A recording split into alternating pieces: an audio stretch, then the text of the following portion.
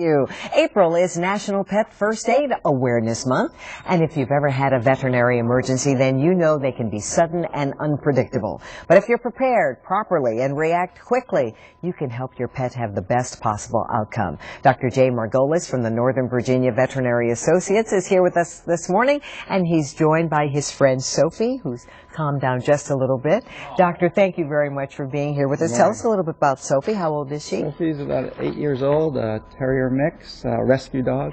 Well, she's very lucky to have a vet as her human friend because if there is an emergency, you know how to react. But for the rest of us, it's a frightening situation. It can be very uh, scary. Dogs seem to get themselves into all kinds of predicaments, everything from So, what are some of the predicaments that would create this emergency situation for dogs? uh, Or cats. things that they'll eat uh, is a big issue, whether they're eating chocolate, eating foreign bodies, uh, balls, uh, undergarments, towels, Undergarments? things like that. Are, the are- wrong kind of bones. we had that problem one time. Exactly. So if this emergency happens, the undergarments or whatever, we would have a first aid kit if we were dealing with humans. And you brought along some things we need in a first aid kit for animals. I did bring along a few things for first aid. Uh, just some things that we might use for uh, wounds. One issue is if your animal is hurt, your pet uh, is sometimes keeping a muzzle or a leash is a good idea so that nobody gets bitten.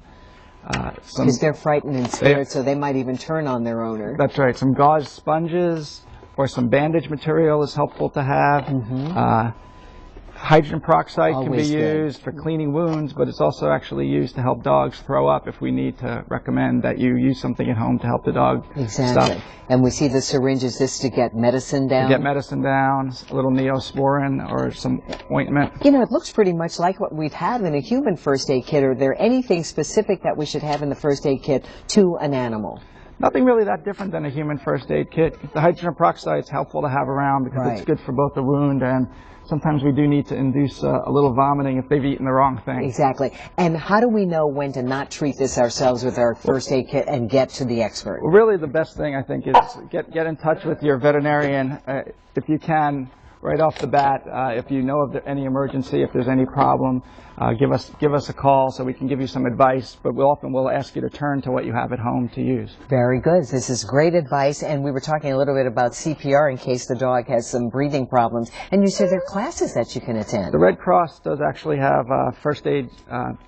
Classes that can be used for pets and helpful for pets so that's one resource that can be used your veterinarian's another resource that you can use to learn how to how to do some pet CPR. Doctor, thank you for being a good resource for us. And Sophie, thank you for cooperating. Let's go to Howard.